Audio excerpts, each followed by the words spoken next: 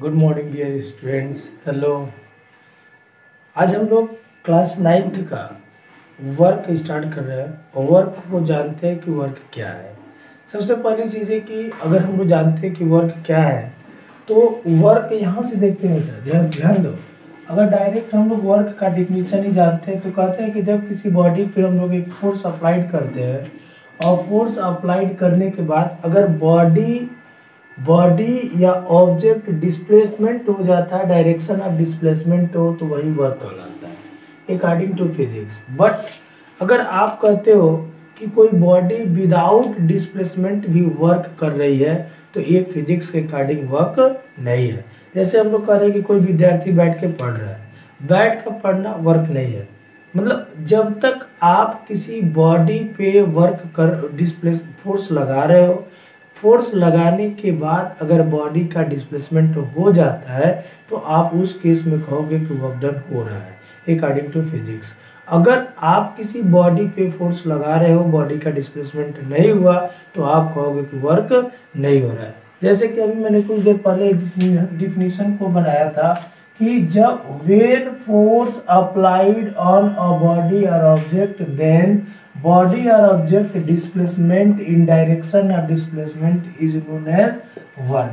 मतलब जब किसी बॉडी पे आप फोर्स लगाते हो या ऑब्जेक्ट पे फोर्स लगाते हो तो फोर्स और ऑब्जेक्ट पे फोर्स लगाने के बाद उस बॉडी का डिस्प्लेसमेंट डायरेक्शन ऑफ़ डिस्प्लेसमेंट में हो जाता है तो उसको हम लोग क्या कर देते हैं? वर्क कर देते हैं। वर्क को हम लोग किससे रिप्रेजेंट करते हैं? सिंबली तो डब्ल्यू से रिप्रेजेंट करते हैं। अगर इसका मैथमेटिकल फॉर्म देखोगे बेटा तो work is equal to force into displacement मैंने ये फोर्स लगाया और इस फोर्स लगाने के बाद एक बॉडी का इस डिस्प्लेसमेंट के डायरेक्शन में डिस्प्लेसमेंट हो रहा है, वही वर्क कहलाता है।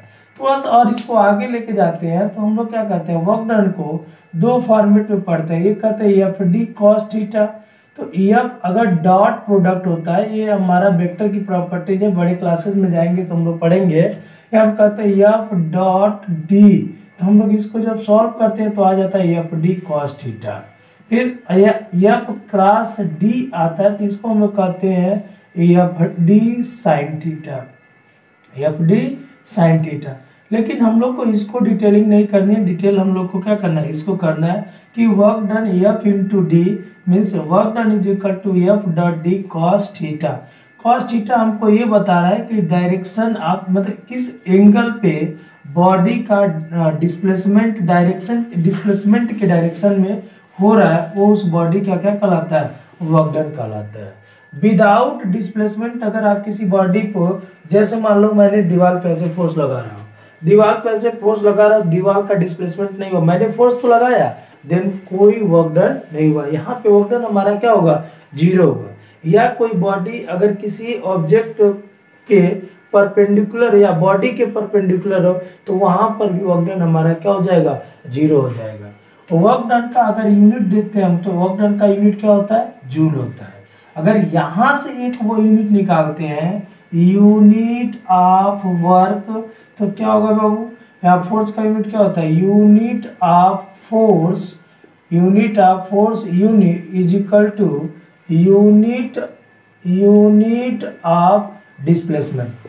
Force का यूनिट क्या होगा? न्यूटन डिस्प्लेसमेंट का यूनिट क्या होगा? मीटर तो आप यहाँ पे कह सकते हो कि one joule is equal to one newton into metre होगा।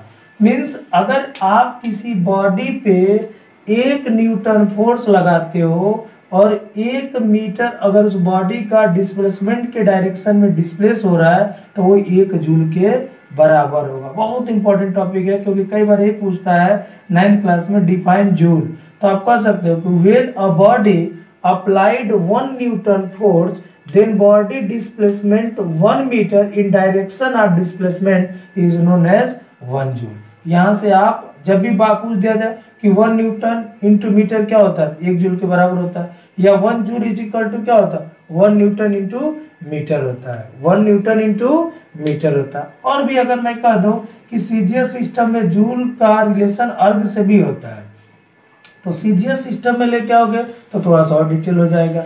या इसको और भी हम लोग यूनिट को बढ़ा सकते हैं कि one joule is equal to one newton को आप क्या लिखते हो? मास इंटू एक्सिलेशन यहाँ पे क्या होगा? के जी मीटर के G mass into K G metre per second square into metre होगा। ये मीटर इस मीटर में मल्टीपल हो जाएगा।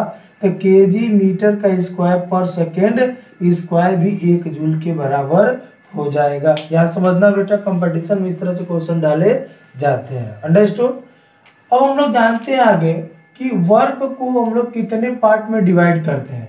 तो वर्क को हम लोग तीन पार्ट में डिवाइड करते हैं। एक पॉजिटिव वर्क होता है, एक नेगेटिव वर्क होता है और एक ज़ीरो वर्क डन होता है। ये सारा वर्क डन डिपेंड करता है किस पे? थीटा पे। अगर थीटा की वैल्यू ज़ीरो डिग्री हो जाए, जैसे मान लो बेटा, अभी लिखे हो कि work done is equal to F D cos theta. तो अगर मैं यहाँ पे लिख दिया हूँ कि कॉस ज़ीरो डिग्री का मान क्या होता है? वन होता है।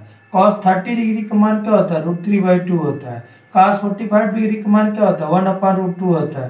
कास सिक्सटी डिग्री का मान कितना होता है? One by two cos ninety degree का मान क्या होता है? ज़ीरो कास वन एट्टी का मान कितना होता है? माइनस वन तो यहाँ पे कह रहा है कि अगर थीटा की वैल्यू ज़ीरो हो जाए, अगर थीटा की वैल्यू ज़ीरो हो जाए तो वर्कडन हमारा क्या होगा?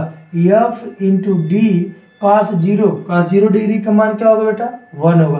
तो W is equal to F D cos zero degree is equal to work done is equal to क्या होगा? एफ़ डी ये हमारा मैक्सिमम वर्क डन भी हो जाएगा।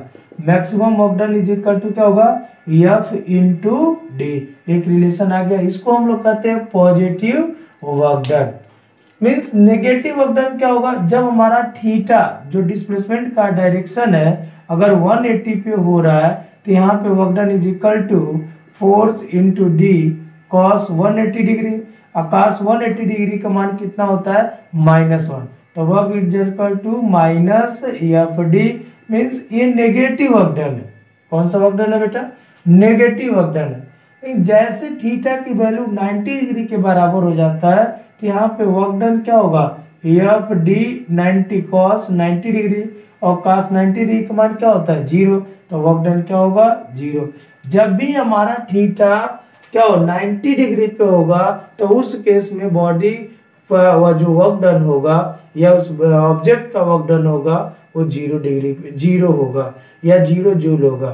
मीन्स मैक्सिमम वर्क डन होने के लिए थीटा की वैल्यू ज़ीरो होनी पड़ेगी मिनिमम वर्क डन होने के लिए थीटा की वैल्यू 180 होनी पड़ेगी। अगर वर्क डन ज़ीरो हो रहा है तो 90 डिग्री होगा।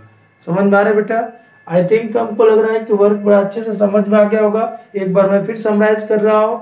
वीडियो देखने के बाद अगर वीडियो अच्छा लगे तो लाइक शेयर करना ना भूले प्लीज़ देखिए, अगर मैं इसको कहूँ कि वर्क क्या है तो मैं बोल रहा हूँ कि when a force applied on a body or object then body or object displacement in displacement of direction is known as क्या होगा? वर्क अगर किसी बॉडी पे आप फोर्स लगा रहे हो और बॉडी का डिस्प्लेसमेंट डायरेक्शन ऑफ़ डिस्प्लेसमेंट हो जाता है तो क्या कहलाता है? वर्क कहलाता है। थैंक यू बेटा।